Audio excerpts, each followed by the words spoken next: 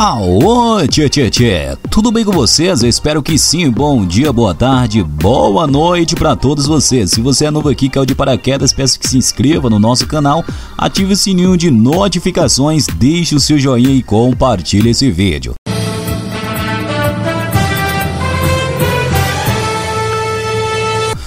Gafes de Galisteu, Vacos de Peões e Primeira Baia marcaram a estreia de A Fazenda 13. É fogo no filme! A Fazenda 13 estreou na última noite e Adriane Galisteu, a primeira apresentadora mulher do reality show da Record TV, foi um dos destaques da noite, ao acabar recebendo vacos dos peões da edição e cometer algumas gafes. Com nomes como Nego do Borel, Daiane Melo e Tati Quebra-Barraco no elenco, o programa já teve seu primeiro desentendimento, a primeira baia definida e até um momento de empatia entre os cancelados. Confira como foi a estreia aqui no nosso canal. Fique ligadinho, é pra vir com vontade. Galisteu tentou brincar com os 20 peões do reality show em seu primeiro contato ao vivo, porém, os confinados não entenderam as falas da jornalista e a deixaram no vácuo. Primeira empolgada com a animação dos peões, Galisteu tentou emplacar uma brincadeira relacionada ao seu antigo programa no SBT. Parece que a gente até ensaiou. Fazenders, não digam alô, digam perguntou ela. Os peões chegaram a ficar em silêncio, sem entender, mas gritaram: A Fazenda! Pensando ser algo relacionado ao programa. A apresentadora deu risadas, mas não escondeu a frustração. Ela queria que eles dissessem a Galisteu, né, gente? É, abre aspas. Tudo bem que foi a Fazenda, mas era para falar como vai, Galisteu. Na próxima, a gente acerta, disse aí a apresentadora. Em seguida, pediu para os interessados no prêmio do reality show levantarem as mãos. Eu quero saber quem está com sangue nos olhos para disputar os 2 milhões que estão em jogo. Levanta a mão e grita: Eita! solicitou a apresentadora ficou no vácuo novamente com sua tentativa de brincadeira e pediu atenção aos participantes. Abre aspas. Ninguém foi. Vou de novo. Escutem eu falar primeiro.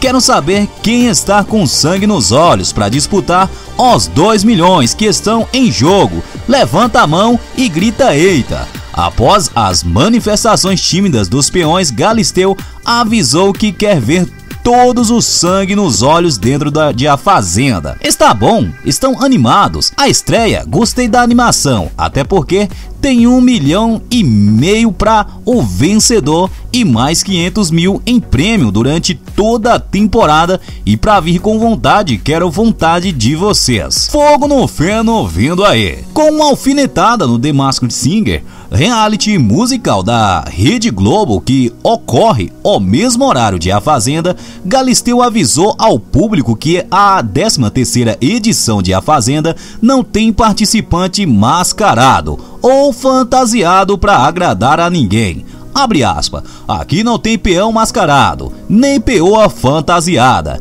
Quem desafinar encara o chicote do povo e a apresentadora diz bora piada. A apresentadora ainda fez questão de se dizer realizar com o cachê de comandar a Fazenda 13 e prometeu agir em prol do famoso fogo no feno no convívio dos peões aí. Abre aspas. Meus amores, muito boa noite. Nós estamos aqui ao vivo para todo o Brasil e chegou a minha vez de falar isso. Meu Deus, muito obrigado com a nossa Fazenda 13, que está decolando lotada de novidades. E para começar com a apresentadora que vos fala, estou pronta para fazer Itapicirica da Serra virar Itapicirox das Chamas. Eu não entendi foi nada. Mas enfim, pessoal, só uma espiadinha. Entre um VT e outro, Adriane Galisteu soltou um vamos dar uma espiadinha. Termos usado por Pedro Bial no Big Brother Brasil. Rapidamente, ela trocou a palavra de ação vamos dar uma olhadinha. Olha aí, somos os três cancelados da edição. Em papo com o Nego do Borel, durante uma ação para os peões se conhecerem no primeiro dia, Rico Melquiades aproveitou para alertar o cantor sobre o risco de eliminação do reality show pela fama de cancelado. Abre aspas. Tipo assim, você está ligado, né? Que não sei que você via, mas o pessoal falava que os primeiros eliminados eram eu e você, ou o MC Gui. Nós somos os três cancelados da edição. Isso vai ser muito bom para mostrar pro povo. Nego do Borel diz ter noção de como o público o vê e entende que somente suas ações no confinamento podem mantê-lo na disputa do prêmio de um milhão e meio de reais. Abre aspas. Claro, cara, está na mão das pessoas lá fora, disse aí o Nego do Borel. Solange, Nego do Borel, Victor, Dinho, Mumuzinho e Daiane na baia. É isso mesmo que você escutou. Os 20 peões já decidiram quem são os seis confinados que vão para a primeira baia da 13 terceira edição e quem fica no conforto da sede. Os seis moradores da baia estarão vetados da primeira prova do fazendeiro, que vai acontecer hoje, pessoal. Solange, Nego do Borel, Victor Penconraro, Dinho é, Mussuzinho e Daiane foram os felizardos escolhidos para estarem na baia e acordaram com um cavalo roubando um dos cobertores. É isso mesmo. Inicialmente, os peões precisaram se dividir em seis trios, deixando dois peões de fora. Valentina, Francavila e Thiago Piquilo sobraram após a definição dos trios. Após revelarem um letreiro, descobriram que estava automaticamente na sede. Em seguida, em rodadas de trio, cada participante precisou justificar o motivo pelo qual deveria ficar na sede. Os privilegiados foram definidos por votação dos outros participantes. Alguns prometeram cozinhar para os outros peões e Victor Pincorraro chegou a citar um problema no nervo ciático para justificar sua permanência na sede. Daiane Mello versus Rico Melquiade e MC Gui. Ao decidir quem fica na baia, o que fica na sede, os peões já trocaram farpas. Daiane Mello se enrolou com os termos do reality show e acabou defendendo sua estadia na baia. Desejo que foi atendido por Rico e MC Gui. Bom, ela pediu para ir para baia, concluiu Rico, de forma irônica. Não estou votando porque ela voltou em mim. Acrescentou ele se explicando e recebeu o apoio de MC Gui.